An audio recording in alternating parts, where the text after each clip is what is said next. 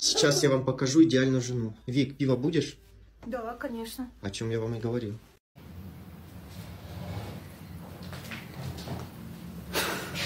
Сейчас бы одно решила съесть.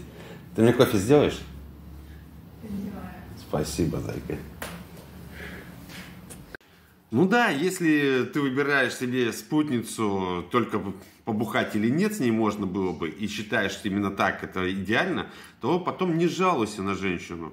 Я считаю, что идеальная женщина, хорошая женщина, нормальная и адекватная женщина, это женщина, которая тебя любит и уважает. И ты с ней бухать не будешь, потому что она не пьет. А она всегда выполнит твою просьбу, она тебе всегда проявит заботу. Вот это вот нормально.